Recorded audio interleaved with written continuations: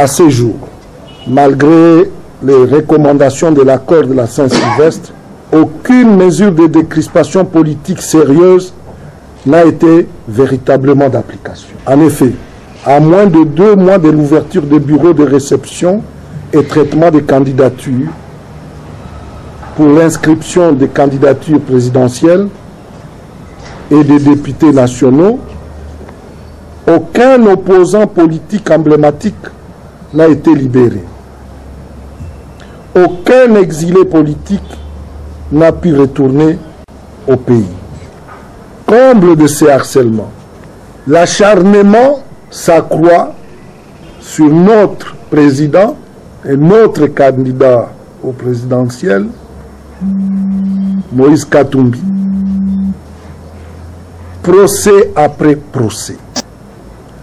Les pouvoirs ne cessent d'inventer grossièrement des affaires à sa charge afin d'obtenir sa condamnation et ainsi son élimination de la course à la présidentielle.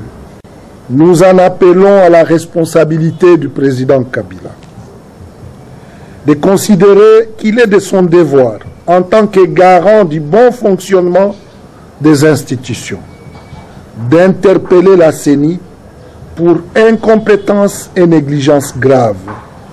Cette situation exige que l'on aille le plus rapidement possible aux élections afin de doter le pays des institutions légitimes stables pour que le peuple congolais se mette enfin au travail et produise les richesses pour combattre la pauvreté.